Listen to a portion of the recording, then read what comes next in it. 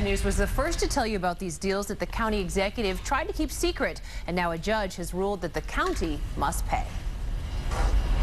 I find there to be no ambiguity at all. Wayne County Circuit Court Judge Michael Sapala ruled that Robert Ficano must honor the agreements he made with 15 of his top appointees. Last year, the appointees were in line to receive payments as part of an early retirement buyout program, but the county asked them to stay with a written contract that promised they could cash in later. After the 7 Action News investigators exposed Turkia Mullin's controversial $200,000 severance deal last fall, Ficano abruptly rescinded the other separation agreements, which some some have characterized as severance.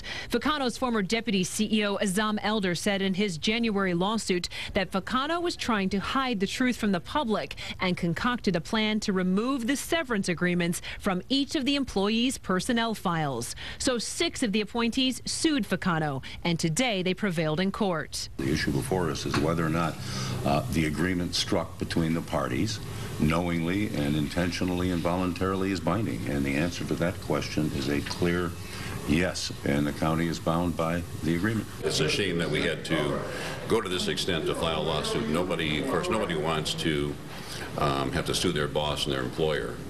Um, so I was glad that this, we were able to quickly resolve this. Outside the courtroom, Homeland Security Director James Buford said he would submit his paperwork to retire right away. I won't give him another chance to do this.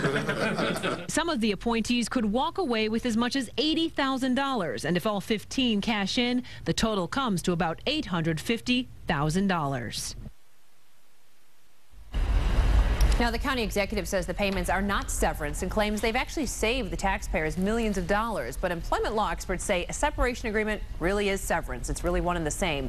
Now, also, Action News has learned some county insiders were hoping this story wouldn't make such a splash. Coming up at 6, I'll show you how the county tried to give reporters the slip today. Joanne? Thanks.